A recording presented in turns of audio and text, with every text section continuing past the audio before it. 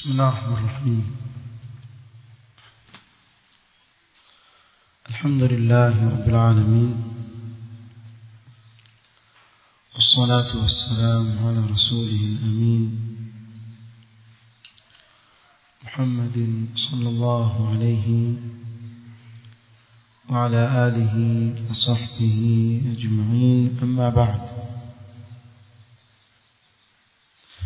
Leo ikiwa ni tarehe ishirini na nane mwezi wa Shaaban mwaka elfu moja mia nne thelathini na tisa katika darsa kitabu التوحيد الإمام المجدد محمد بن عبد الوهاب رحمه الله تعالى بشرح معالي الشيخ صالح الفوزان حفظه الله. تلفكية باب ما جاء في الذبح لغير الله. باب ما جاء في الذبح لغير الله. تلسوما katika vikao vilivyopita adilla alizoziorodhesha al-Imam al-Mujaddid rahimahullah ta'ala na leo biidhnillah ta'ala tutamalizia dalili ya mwisho aliyotaja katika mlango huu قال رحمه الله وعن طارق بن شهاب أن رسول الله صلى الله عليه وسلم قال دخل الجنة رجل في ذباب ودخل النار رجل في ذباب.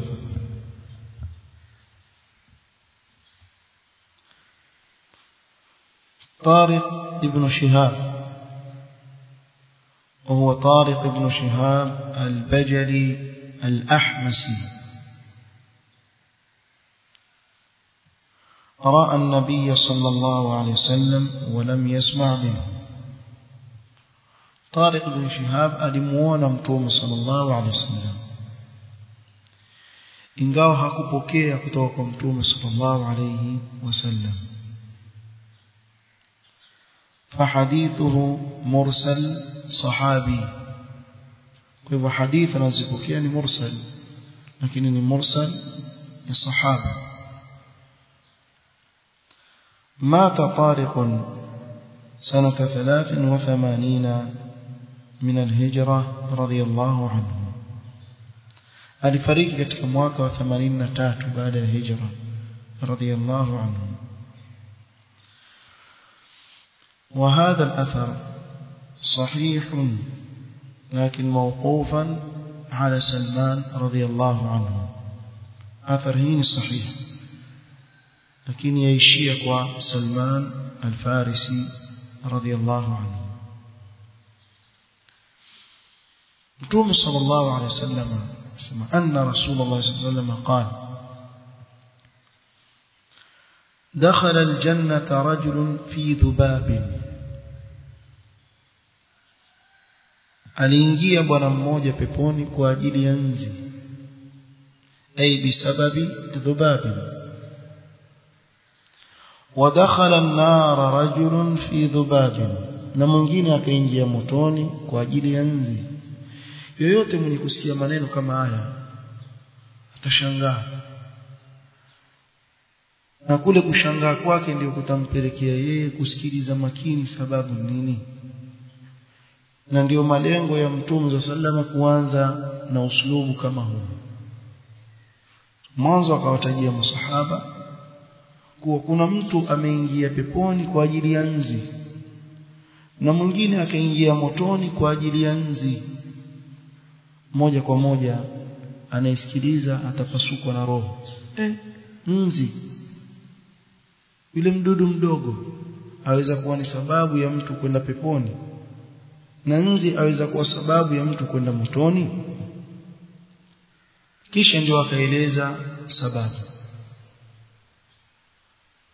قالوا وكيف ذلك يا رسول الله؟ الصحابة اللي وسكيا من النهاية كم مريزا هل كموريزا hilo jambo lawezekana يا رسول الله. للكواجي كواجي. قال مر رجلان على قوم لهم صنم لا يجاوزه أحد حتى يقرب له شيئا. Watu wawili njiani wakawakuta watu lahum sanamun والصنم ما كان منحوتا على صورة sanamu ni lile lilotengezwa katika sura ya kitu fulani لا يجاوزه أحد حتى يقرب له شيئا أي لا يمر به ولا يتعداه hawamwachi mtu apite mpaka achinje kitu pale ajikaribishe kwa yule sanamu ndio apite يقرب أن يذبح قالوا لأحدهما قرب wakamwambia mmoja katika wale wawili haya karibisha kichinjwa chinja qala laysa indi shay'un uqarribu huyu bwana kule kujitoa akasema mimi sina kitu cha kujikaribisha kwa ili sanamu lenu. Qalu lahu qarrib walau dhubaban. Chinja hata kama ni nzi pia. Chinja. Bora tu ujikaribishe kwa sanamu. Faqarraba dhubaban. Bwana akamchukua nzi akamuua pale akapita. Fakhallau sabila. Akamwacha. Fadakhala an-nar akaingia motoni. Waqalu lilakhir qarrib.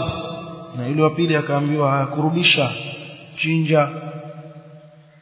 Qala ma kuntu li uqarriba li ahadin shay'an duna Allah azza wa jalla. Sikuwa mimi ni mwenye kumkaribishia yoyote ni mwenye kumchinjia yoyote isipokuwa Allah subhanahu wa ta'ala peke yake. Moja kwa moja akaonyesha msimamo wake wa tauhid fadharabu unuqahu wani mabwana wakamkata kichwa fadakhala aljanna ili bwana aingia peponi قال رواه أحمد المعنى الإجمالي للحديث يخبر النبي صلى الله عليه وسلم عن خطورة الشرك وشناعته. متوم صلى الله عليه وسلم كتك حديثه أتوليز ختاري يا شركي نأبا نووف وذنب يا فيحدث أصحابه ويبدأ حديثه ببداية تجعل النفوس تستغرب وتتطلع إلى سياق هذا الحديث.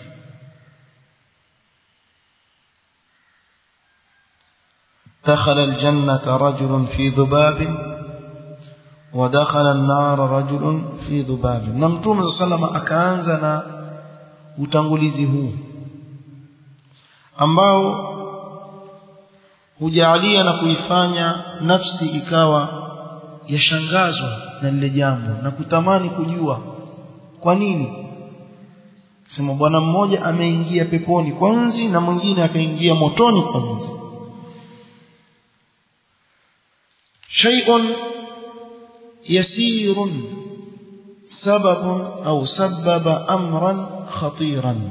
Kitu kidogo sana kisababisha jambo la hatari sana wa aujaba suala an tafsirihi kwa hivyo ikawajibika hapa kuuliza swali ni kivipi ilikuwaje maanake hii kitu kidogo sana kapelekea watu kuingia peponi na motoni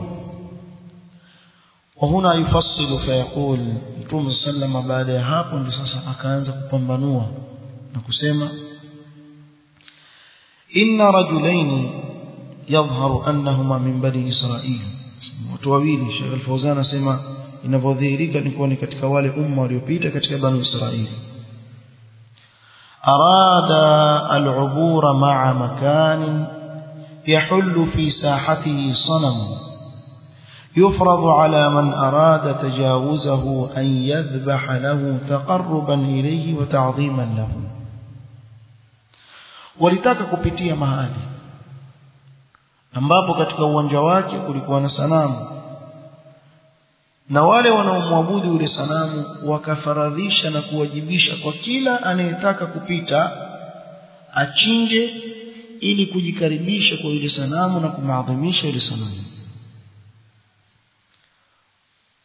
فطلب عباد ذلك الصنم من الرجلين التمشي على هذا النظام الشركي ولما bwana wenye kumwabudu yule sanamu wakataka kutoka kwa hawa watu wawili kufuata ile njia yao ya kishirikina kija chinja ndio uende hii ndio nidhamu yao ya kishirikina waliweka pale فاما احدهما فاعتذر بالعدم mmoja wao akatoa udhuru kwa mimi sina na hili linapatikana kwa baadhi ya watu ukamwona mtu akaambiwa jambo fulani ovu kama kwa mfano amuona mtu atufu katika kaburi. Pengine ni mwenzake wako naye twende kidogo pale. Kifika pale ambia tufanye tawafu aseme mimi ninachoka. Mwambie kitendo chokifanya kifai.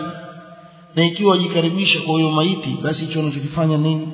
Ni shirkun akbar. Na ikiwa jikaribisha kwa Allah kwa kutufu kwenye hilo kaburi basi wazua wewe katika dini. Wala Allah subhanahu wa ta'ala haabudiwi hivi. Mwekee wazi. Kinamwambia ninachoka. Yani bimaana kila anachokifanya ni sawa. Wewe kwa sababu unchoka ndio uweze kufanya. Ah so yule bwana akaomba udhuru kwa sina faqana'u minhu biaisari shay'in. Wale mabwana wakakinai kwake kwa kitu kidogo sana. Lianna maqsudahum husulu muwafaqati ala shirk. So malengo yao ni kuwa uafikiane nao katika ile shirki wanaoifanya. Kwa hivyo hata kitu kidogo ukikaribisha tosheleze si huna eh, achukua hiki fanye hivi. Fadhabaha lis-sanami dhubaban fatarakuhu yamurru yule bwana akamchinjia yule sanamu nzi wale wakamwacha pite فدخل بسبب فعله هذا نار جهنم kwa sababu ya kitendo chake hiki akaingia motoni waliyadhu billah لانه فعل الشرك ووافقهم عليه kwa sababu amefanya kitendo cha ushirikina na aliyafikiana na kuwakubalia wale mabwana kile wanachokitaka وطلبوا من الآخر أن يقرب للصنم فاعتذر بأن هذا شرك ولا يمكن أن يفعله فقتلوه فدخل الجنة لامتناعه من الشرك na yule mwingine wakamtaka pia achinje kwa lile sanamu yeye pia akaomba udhuru na kusema kuwa hiki kitendo mnachoniamrisha ni ushirikina.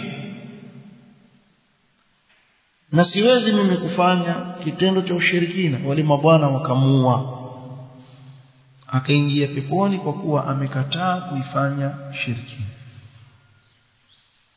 Munasabatu lhadithi lilbab annahu dalla ala anna dhabha ibada. Hii hadithi ni dalili ya wazi kuwa kuchinja ni ibada wa anna sarfahu lighairi llahi shirkun na ibada kama hii kumpelekea siku Allah subhanahu wa ta'ala ni ushirikina waliyadu billah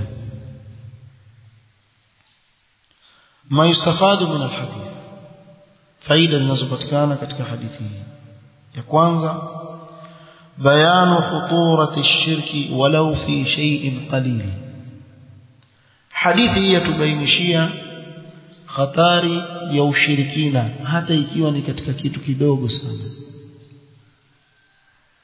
Ni hatari sana ushirikina. Yatosheleza kuwa Allah subhanahu wa ta'ala natija aliyoiweka kwa mtu mwenye kumshirikisha ni ya hatari sana.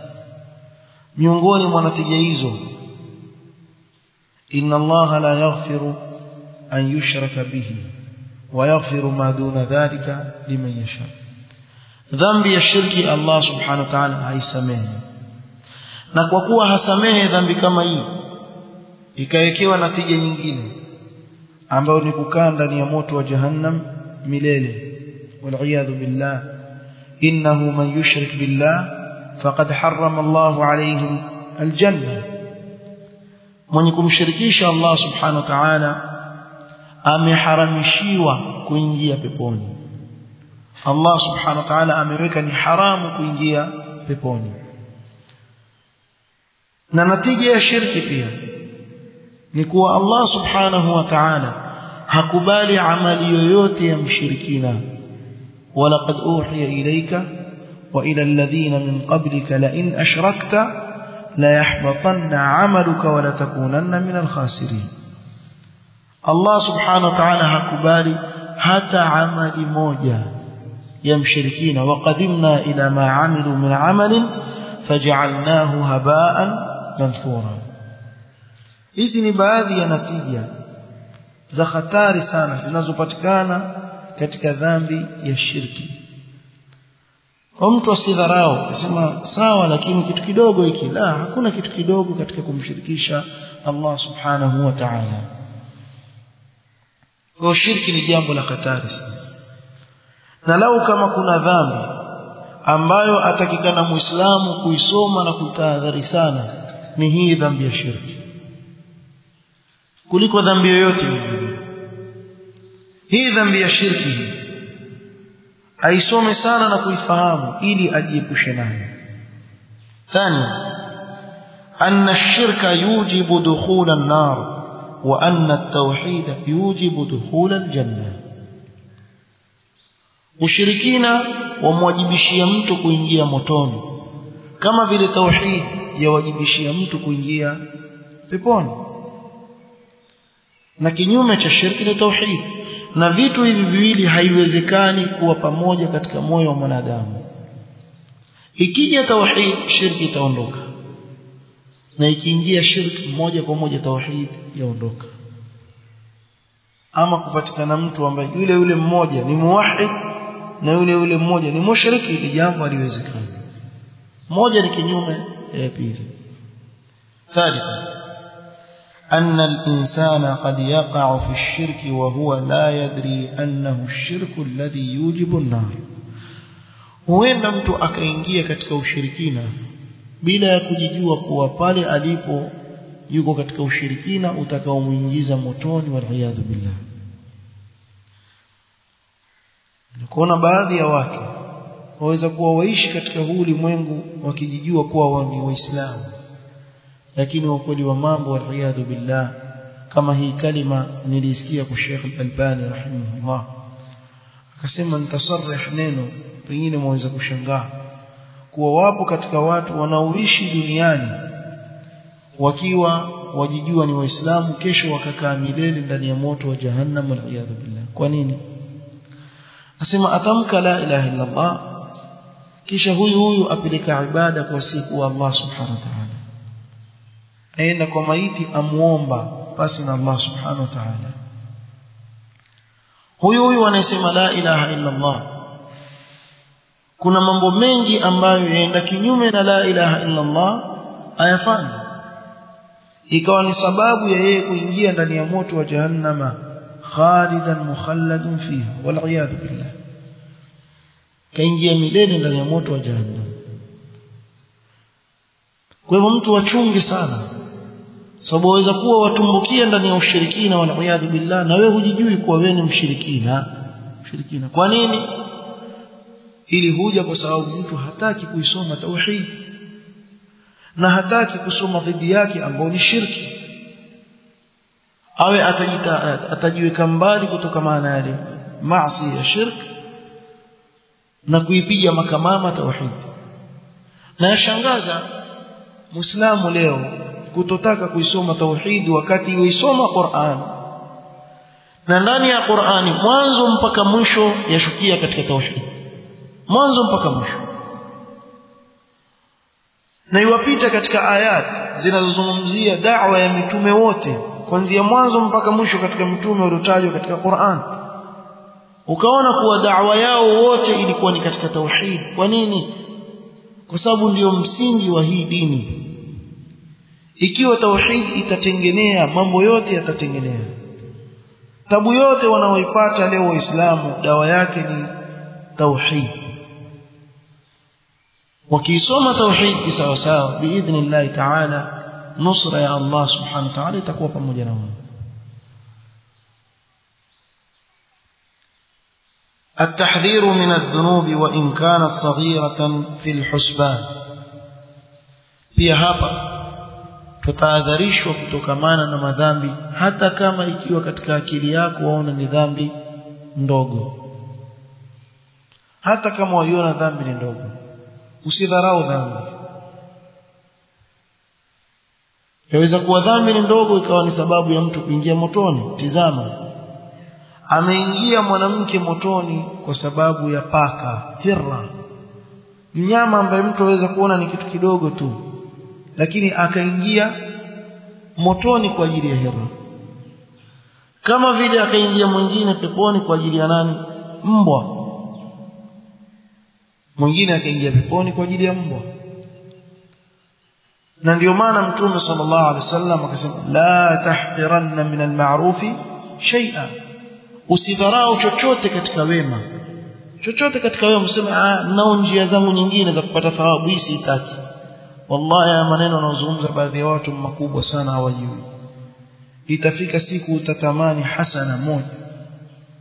Uko katika kaburi au kesho mbele ya Allah subhanahu wa ta'ala huipati. Usidharau jema. Na hivyo hivyo usidharau maasi yaweza kuwa maasi wayaona ni madogo katika macho yako. Watahsabunahu hayinan wa huwa 'inda Allahi adhim wewe waona ni jambo dogo lakini mbele ya Allah subhanahu wa ta'ala ni kubwa mno. Na ndio utaona leo baadhi ya watu katika wale ambao wataka kwenda na mujtama tulivu. Kwa sababu sisi tuna shida moja haswa walinganizi. Twapenda sana kufurahisha watu wanaotusikiliza. Hatupendi kuwasikilizisha katika masikio yao mambo ambayo yatawaudhi kwa kuwa wayafanya. Sasa kile kilicho nifanya nini? Ni ujaribu kupoza poza mambo ili uweze kuishi na watu kama wanavyodai wao kibiashara biashara. Unajua muamala wa biashara muamala wa biashara uchagui mtu. Kusanya kusanya tu mazaga zaga yote. Kama majitaka la. Uislamu utufundishi hivi ukatuona sisi sasa tuzungumza kwa mfano namuona pale kichungulia hivi. Yule mtu yule hataki maulidi izungumzwe kuwa bid'a kiangalia hivi namwona yule mtu wa irizi irizi yule nikitaja irizi hapa atanikimbia. Kwa hivyo nikisimama niseme nini? Sote waislamu mambo madogo madogo kama haya maulidi sini yasitufarikishe sisi mambo madogo madogo. Kuna jambo dogo ambalo tafsiri yake ni kuwa mtume sana mfanya khiana. Hilo ndogo hilo. Jambo dogo kufanya kazi ya Allah subhanahu wa ta'ala shar'a lakum min ad-din ma wasa bihi nuha Allah subhanahu wa ta'ala ndio aliyeweka hii sheria thumma ja'alnaka ala shari'atin min al-amri mtume sallama mwenyewe na ni mtume wa Allah ambaye nini fattabi'ha fuata sheria imewekwa na Allah subhanahu wa ta'ala kisha aje mtu aongeze katika sheria ya Allah subhanahu wa ta'ala aje mwingine asema kile kitu ni kidogo kile hadha yadullu ala kibari aljahl fi ra'si hadha al-insan hii yaonyesha ukubwa wa ujinga katika kichwa cha yule mtu anaweza kuwa mtu ana kichwa kidogo hivi lakini ana ujinga mwingi. Umeshinda kimo chake. Mtu azungumzie bid'a, uzushi katika dini ya Allah. Kisha sema kile kitu kidogo tu. Mpaka ikapelekea wengine pia kusema tofauti baina sisi na manasara ni kitu kidogo tu kitu kidogo kusema kuwa Allah ana mtoto kitu kidogo Allah subhanahu wa ta'ala sema waqalu ittakhadha ar-rahman walada laqad ji'tum shay'an idda takadu as-samawati yatafattarna minhu wa tanshaqqu al-ardu وتخر الجبال هدا أن دعوا للرحمن ولدا. يوتي أمبكا مبينغو أرضي ما جبالي يتكاكو بسوكا. باسوكا كو أجيلي يكو سمع لنينو أتو كي أمتو أسمع يمامبو مدوغو تو. مامبو مدوغو كو سيدا راو سمع إذا من دوغو لا لا لا. مبيني الله سبحانه وتعالى نكوب ومنو usiangalie udogo wa dhambi tizama yule unayemuasi. Yule unayemuasi ni mkubwa mno. Kwa usiangalie udogo wa dhambi tizama nani wa muasi? Ni Allah subhanahu wa ta'ala. Utajua kuwa hakuna dogo. Sidharau dhambi ndogo tu. Na kumbe si katika madhambi madogo bali ni katika madhambi makubwa. Khamisa أن هذا الرجل دخل النار بسبب لم يقصده ابتداء. ويبانا أمين يا متوني فسباب حقي موانزو وإنما فعله تخلصا من شر أهل الصنم يا مفانيا تقولي توا قد يا ولي وتقول سلام فاني أنا كنت كده رزام كم من سباب والعياذ بالله كن يا متوني سادسا أن المسلم إذا فعل الشرك أبطل إسلامه ودخل النار. مسلم أكم شركيش الله سبحانه وتعالى. kitendo cha shirki basi ameubatilisha uislamu wake na kuingia motoni لأن هذا الرجل كان مسلما وإلا لم يقل دخل النار في ذباب. alikuwa ni muislamu haiwezekani mtume sallallahu kusema kuwa aliingia motoni kwa ajili ya nini? Ya nzi. Kwa sababu lau kama angelikuwa ni mshirikina tangu mwanzo tangu mwanzo alikuwa ni wa motoni kwa hakuna haja ya kusema hivyo. Lakini akasema ameingia motoni kwa ajili ya nzi kwa sababu kabla ya hapo alikuwa ni muislamu. Alipofanya kile kitendo akaingia motoni kwa ajili yake. Uislamu si kabila. Uislamu ni dini ya Allah subhanahu wa ta'ala ikiwa utaambatana na Uislamu unavyoamrisha utabakia kuwa Muislamu. Ukifanya vinavyochangua Uislamu watoka katika Uislamu wal billah. Na ndio maana fuqaha wakaweka mlango wa ridda wakazungumzia ahkam zinazofungamana na mtu aliyertad. Nini maana ya kurtad? Bi maana? Alikuwa muislamu. Kisha akatoka katika uislamu na ni jambo ambalo linajulikana lafahamika. Ingawa leo tumepata na mara nyingi nuani min hadhihi au min hadha sinf min alnas ukapata watu kuwa hawataki kusikia jambo laitwa kuwa ukifanya hivi utatoka katika uislamu. Ukifanya hivi utatoka katika uislamu. Hawataki kusikia. Atakabakie tu mle mle. Laysa biamanijikum usione vile unavyotaka wewe kwa matashi yako ndio itakuwa hivyo hivyo la ni dini ya Allah subhanahu wa ta'ala sabi'an أن المعتبر عمل القلب وإن صغر عمل الجوارح وقل كنا تزنغتيوا ni amali ya moyo hata ikiwa amali ile ni ndogo ukiangalia katika viungo ni amali ndogo lakini kinachoangaliwa ndani ya moyo kwa mfano leo wangapi huenda kwa waganga? Wakaambiwa chinja kuku mweupe. Ili jambo lako fulani liwe chinja kuku mweupe. Akachukua kuku yule akamchinja. Kuku ni mnyama mdogo sana. Shilingi mia tano ya Kenya wewe na kuku wako. Lakini ule mia tano yaweza kuwa ni sababu ya wewe kuingia motoni milele waliyadhu billah akamchinja kwa mfano yule kuku na asema bismillah Allahu akbar. Akamchinja. Lakini kinachotizama nini? Ni kile kilichopelekea wewe kufanya kitendo kama kile ndani ya moyo wako. Kwa kule kutamka kwako kukusaidii chochote ikiwa nia yako ilikuwa ni kufanya kwa ajili ya ushirikina waliyadhu billah. Na hili ni jambo muhimu sana lifahamike. Kinachozingatiwa ni amali ya moyo. Hata ikiwa ni ndogo ile amali katika viungo ni chache katika viungo lakini kinachotizamwa ni moyo wako kuna ikhlas pale ndani ama kuna shirki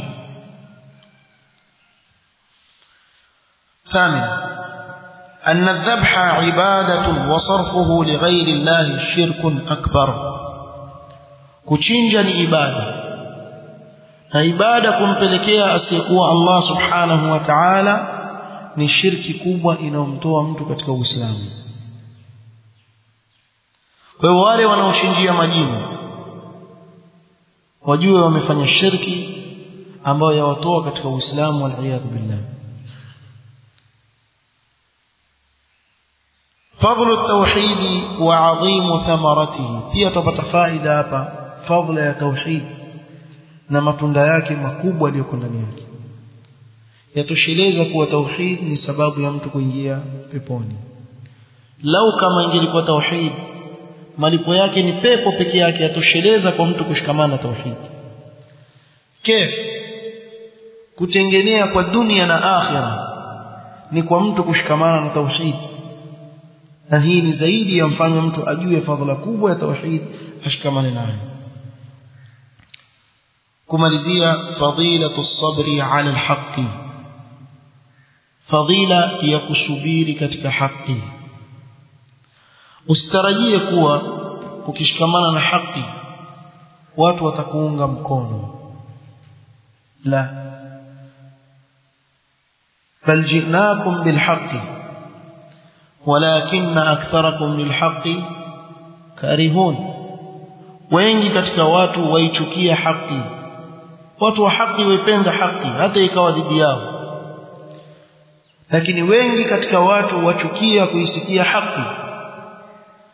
Na ndio pale sasa yule anayezungumza haki akapagazwa kila aina ya majina akapewa kila aina ya maneno bali wengine mpaka kufikia kupigwa na kuuawa. Mitume Allah wameuawa wako mitume ambao wengi waliuawa kwa ajili ya da'wa katika tauhid mitume imeuawa. Mtume Muhammad sallallahu alaihi wasallam alifukuzwa kwao kwa ajili ya tauhid. Masahaba walifanya hijra na kuacha majumba yao na mali zao na watoto zao na watoto wao na wake zao kwa ajili ya nini? Tauhid. Mtume za sallama aling'olewa meno kwa ajili ya tauhid. Hamza alipigwa na kuuawa katika vita vya Uhud. Mus'ab bin Umair na wengineo katika masahaba waliuawa kwa ajili ya tauhid. Wewe wataka kulishwa kwa ajili ya tauhid unawazimu. Wewe ukae ulishwa skirimu kwa sababu usomesha tauhid. Wallahi uone kitu kama. Sasa uwanja huu ingia ama kaa kando lakini usitarajie kuwa katika kushikamana na tauhid na kulingania katika tauhid kuwa mambo yatakuwa mazuri na watu watakupiga mabega yako wakwambie endelea hivyo hivyo wafanye jambo zuri sana ulifanya la wallah mangapi wazungumza wale wakufurisha watu wale hivi wale waleta fitna. Jamani mwalinganiwa katika tauhid ni fitna? La. Na vigogo vya ushirikina vimekaa kazi yao ku, kuwaelekeza watu katika njia potofu wewe ukaambiwa kuwa kitendo cha kumwomba maiti ni kufur. Kuna mwingine ataketi na watu maskini wasiojielewa hawajui hawakusoma dini. Atawaletea maneno ambayo hayamo katika Qur'an wala sunna ya mtume sallallahu alaihi wasallam muhimu tu ya Kiarabu ili awaambie kuwa mnachokifanya katika kuomba walimaiti ni haki na hakuna wasiwasi wote lakini ni juu ya watu wa haki kuwa na nini na subra juu ya ile haki wanaoibeba. Lazima uwe na subra. Kuwa na subra. Wako watu mpaka manjiani wakikuona watakunyoshea vidole yule yule. Ingawa alhamdulillah yani leo si kama vile ilivyokuwa. Leo mtu kikubwa atakachokifanya ni kuzungumza na kunyosha vidole. Maji ya moto ndugu yangu hayachomi nyumba. Bali yangarisha rangi. Kila wakikuzungumza ndio watu sikukoni ana nini yule wataka kusikiliza. Na wakisikiliza ah nazungumza haki. Hakuna jambo ovu analozungumza lakini ni juu yako kuwa na subra. Alhamdulillah haijafikia kuwa wewe wapigwa eti kwa sababu ya tauhid kwa sasa. Sababu Allah ajua kuwa sisi ni madhaifu tuna udhaifu mkubwa sana. Lakini wako ambao wameuawa mitume wa Allah alayhi salatu wassalam walifukuzwa makwao masahaba waliuawa kwa ajili ya tauhid watu wote waliwazunguka wakawapiga vita kwa ajili ya tauhid. Kwa hivyo usitarajie wewe leo kuwa utastarehe ukishikamana na tauhid kutokamana na vitimbi vya watu. Kwa yote ambaye atakulingania katika tauhid sahau kitu chaitwa kujipendekeza pendekeza kwa watu. Billati hiya ahsan kwa maneno mazuri walinganie watu katika tauhid. Na ndio waona watu wengi wakimbia ili swala la kulingania katika tauhid. Chunguza wewe utaona nini? Chunguza utaona nini? Na maimamu wa misikiti wana masuhulia makubwa sana mbele ya Allah subhanahu wa ta'ala. Wallahi. Maamuma swali nyuma yako miaka kumi ishirini hamtambui Allah subhanahu wa ta'ala. Labda awe mwenyewe kuna watu ambao hawana muda wakati wa kusomeshwa wakimbia sasa ile wewe huna nguvu juu yake lakini kuufikisha ule ujumbe ni wajib na ujue kuwa lile jambo lahitaji nini subra lahitaji subra fadilatu as-sabr ala al-haqq fadla kubwa inayopatikana kwa mtu kusubiria katika haki بهذا القدر والله تعالى أعلم سبحانك اللهم وبحمدك أشهد أن لا إله إلا أنت أستغفرك وأتوب إليك بارك الله فيك